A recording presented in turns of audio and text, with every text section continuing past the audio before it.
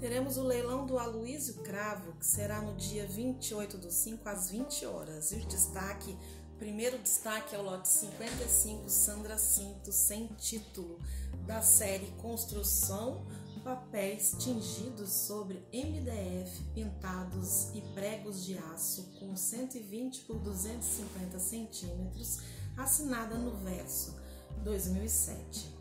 Sandra Cinto inicia sua trajetória na década de 90, realizando representações de céus e nuvens contidas em caixas e armários, como em retábulo. Para a crítica Lisete Lanhado, a artista cria imagens fantásticas que apresentam afinidade com o trabalho do pintor belga René Magritte. Em seus desenhos, que se destacam sobretudo por ampliar ampliarem-se para suportes combinados de maneira pouco previsível, são frequentes as escalas, pontes, abismos, candelabros, velas acesas e árvores sem folhas e frutos. Neles, ela revela uma admiração pela obra de Leonilson.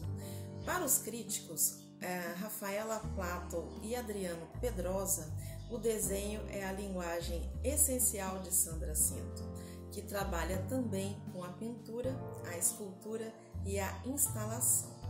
Usado como rascunho em seus primeiros trabalhos, como Retábulo de 1995, no qual é, ela pinta nuvens em superfícies de madeira. O desenho torna-se, em obras posteriores, forma final. Como ilustradora, ela fez seu primeiro trabalho em 1996 para um jornal de São Paulo.